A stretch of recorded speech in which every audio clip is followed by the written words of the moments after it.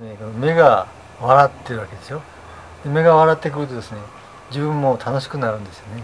だんだんですね。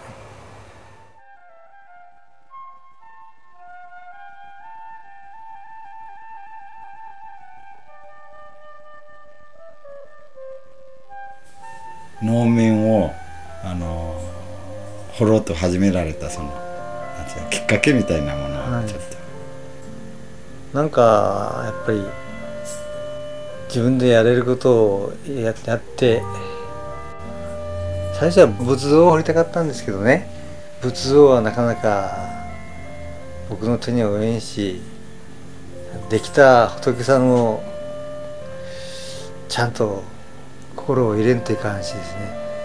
そういうのは無理かなと思って。で能面は顔を彫るだけだし、まあ、色をつけるにしたって難しいかもしれんけども指導していただければ私にもできるかなと思ってそれで友達があのしてたから紹介してもらってやり始めたんですね。あとはまあ初心者ですから60の手習いというか定年後の手習いですから厳しいと思うけどもまあ今のところ今のところ手足もしっかりしてるけんやれるだろうと思ってですね。でやり始めた。江崎さん行きつけの駅前の喫茶店には能面が展示されています。レプリカを作るという段階。それそれそれが能面打ちなんですね。古典的な能面を作るというそのレプリカを作ることになるわけですからその型をこれで取るわけですよね。取っていってそして全体全部合わせていくわけですけども。その型紙を元にしてこっちも参考にしながらこれを見ながらこれで合わせて切っていくわけですから。だからこれと同じに作らないかんのですけどなかなかできんとですね、えー、江崎さんの能面教室通いは今年で6年目になります。ある程度芽が出たところで一回もまたピシッと取っのを取ると芽はまだ下げらんと思います。もう少し下がると思います。3番がね。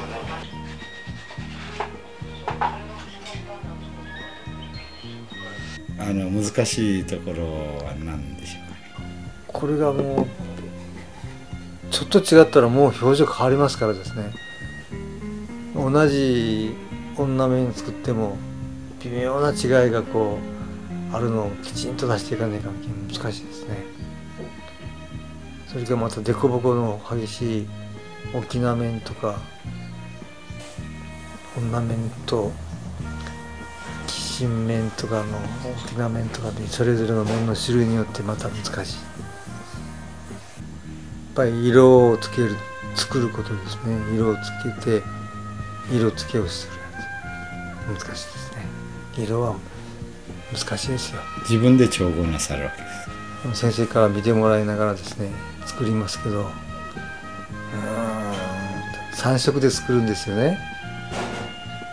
基礎的には3色ですよ。その赤が多いとか少ないとかで白をちょっと混ぜたらまた変わってくるとかですね。難しいですね。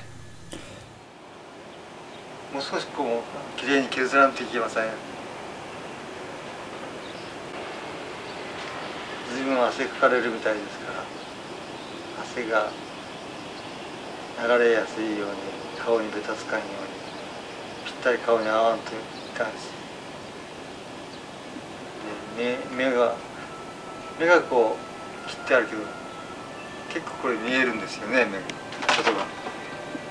で鼻の穴から下が見えますから。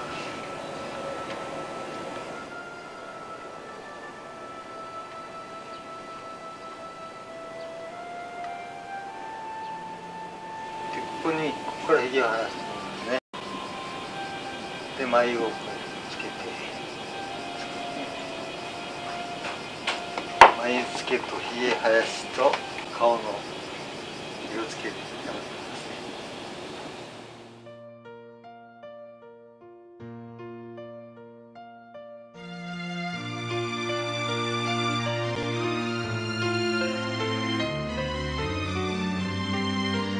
晩秋のある日能面がようやく出来上がったようです。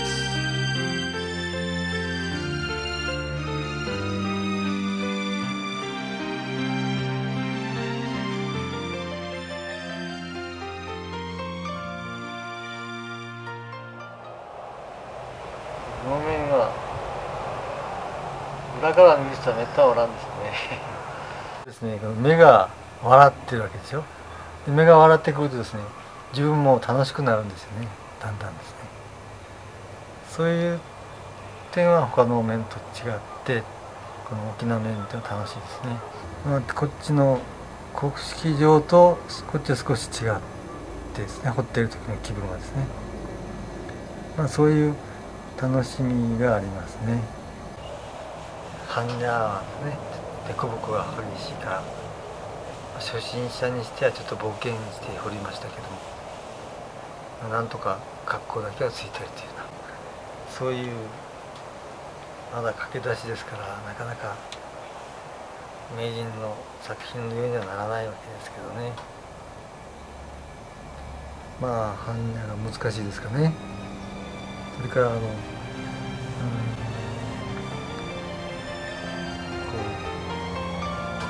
う力強い面がありますね。鹿み、鹿みとか、うん鬼の面とかですね。鬼の神様とかですね、神神ですね。そんなものありますけど、まあ、そこまでは私が取り組みきらんでおるところ